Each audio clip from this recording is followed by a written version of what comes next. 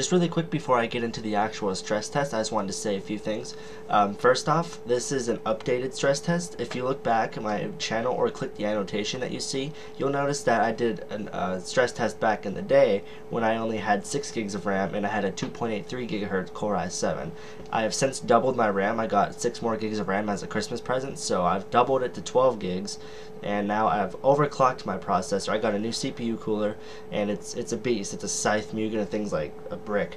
But um, I've since then increased my CPU clock to 3.61 gigahertz instead of 2.83. So that's pretty much 0.8 gigahertz of an increase. So it does it, it makes a huge difference, and hopefully you guys will see that in the updated stress test. So if you have any questions, let me know. I'm at CPU Kid on Twitter and I take messages and stuff like that. Any suggestions, any comments, go ahead and leave them below. And thanks in advance for watching.